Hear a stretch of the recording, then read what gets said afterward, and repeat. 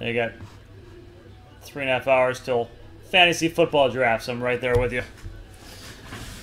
All right, guys, doing a filler for the rest of this floss. We got three and a three for the teams in blue, six times.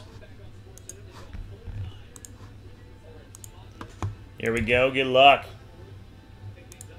Once, twice, thrice, four, five, and six.